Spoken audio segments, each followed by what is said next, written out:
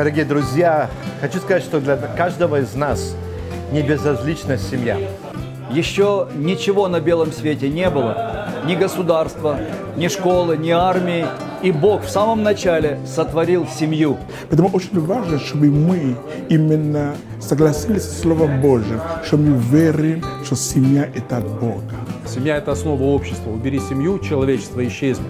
Э, Люди пытаются спасти животных. Сегодня мы пытаемся защитить семью. Э, Сегодня в нашей стране это очень важно, в наше время очень ценно. Там, где мы можем действительно говорить о ценности э, семьи. И мы верим, что семья – это мама и папа.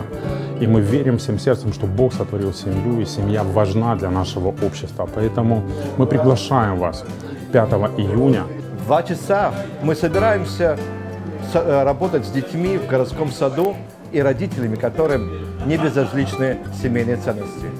5 июня в 17.00 мы делаем марш, шествие за семью.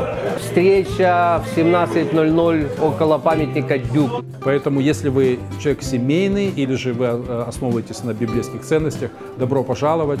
Приходите, это будет потрясающее провозглашение, что Господь создал мужчину и женщину, и что папа, мама, я – счастливая семья.